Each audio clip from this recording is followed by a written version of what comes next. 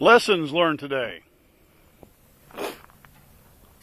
First of all, I guess I should say the tach worked great. The tach works. I got it all fit in there. So the lesson there is that with a little time and effort, you can salvage an antique tach and dash and save a lot of money and have a pretty cool looking instrument panel. I'm going to try some stuff on the vacuum gauge that I'm not sure about. Now, the, the, the lesson I learned on the bed today is always double check the factory measuring because my 4x8 sheet, I cut it off to six and a half feet in length for my bed length. But I didn't double check the width because I had 49 inches between the fenders.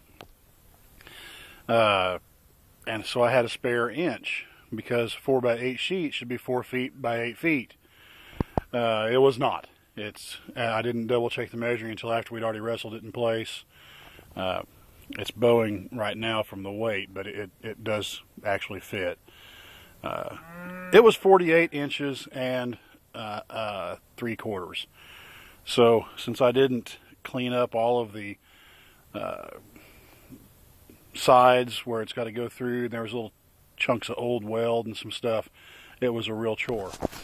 So the lesson today is to double check everything. Everything.